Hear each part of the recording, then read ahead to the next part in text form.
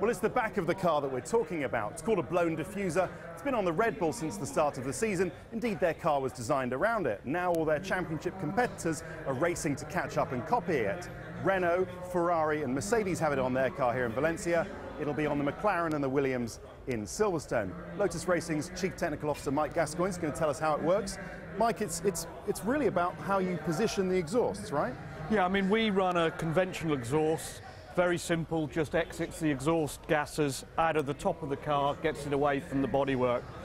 What these teams are doing are bringing the exhaust down into this area in front of the tyre because how you manage the airflow around the tyre and around the double diffuser is critical. And they're using the exhaust gases to control that flow.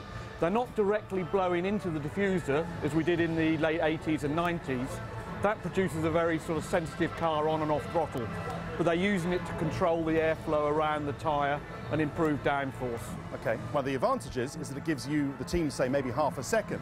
But one of the drawbacks with Mercedes, they found this weekend that it's actually cooking their rear suspension. Yeah, the problem you've got is here we're exiting the exhaust gas, gases, 800 degrees C, the exhaust gas temperature, straight up into the air.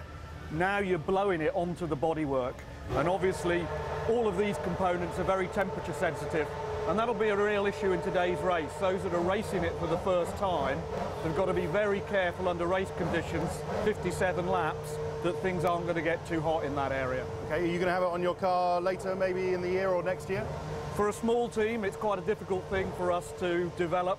We're trying to focus very much on next year's car.